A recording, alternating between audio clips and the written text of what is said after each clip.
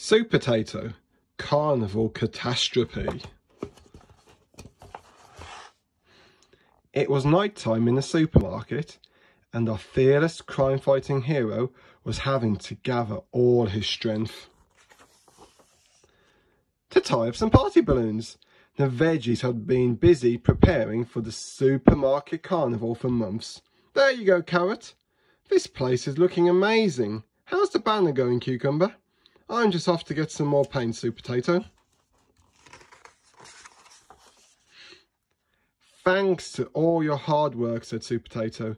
This carnival is going to be a wonderful celebration of colour and fun. But someone had other ideas. That's what you think, sniggered Evil Pea from his hiding place. I hate colour and I hate fun. Let's see those nitwits try and celebrate when I unleash this. Everyone, shouted Supertato. Can I have your attention, please? It's the day we've all been waiting for. I now declare this carnival... Ruined! screeched the Pea as he leapt onto the stage. Behold my new invention, the Colour Suckatron 5000. It's going to suck the colour out of everything. Now, who wants to see it in action? He squealed as he pointed it at Carrot and Pepper. No! screamed the veggies.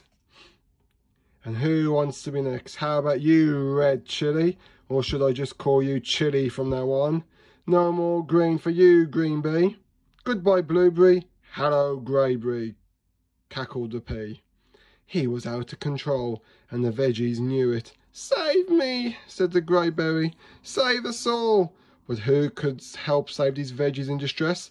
There could only be one. Um, there might be a problem there, veggies. I'm feeling rather washed out myself. What's he done to a Supertato? I don't know, Tomato. I'm not Tomato, I'm Orange, said Orange. The supermarket was a sad sight. The balloons and banners and flags and costumes, everything was ruined. Why did you do it, Pea? Well, Supertato, I'm glad you asked, hissed the Pea. It's not easy being mean, but someone's got to do it. Ma ha ha ha ha.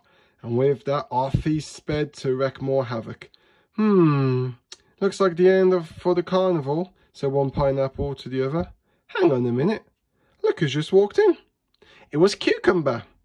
I found the paint, Supertato. But then she froze. What's happened here? There you are, Cucumber, said Supertato. The pea stole all of our colours, but you may just have given me a great idea. Blueberry, I'm going to need your help. Cucumber, I'm going to need your green paint. There wasn't a moment to lose, so Cucumber painted the blueberries, which wasn't easy. Carrot gave them some masks. Tomato gave them some acting lessons. And Supertato gave them a speech. Find that pea, pretend to be his evil pea friends, and let's get our carnival back. Blueberries, pretending to be evil peas, to the rescue. The evil pea didn't suspect a thing. About time. This is really heavy, spat the pea as he handed them the suckatron. Well, go on then. Point out something. So they did. And once the Pea was in position, it was time to flick the switch from Colour Sucker to Colour Blaster. It wasn't long before Tomato was red again, Orange was orange again, and Supertato was that potatoey colour that doesn't have a name again. Everything was as it should be, and it was time for the carnival. There you are, blueberries. Goodness me, you have been busy. What's the... That's the most colourful thing I've ever seen. What a shame that Evil Pea isn't here to see it. I wonder where he could be.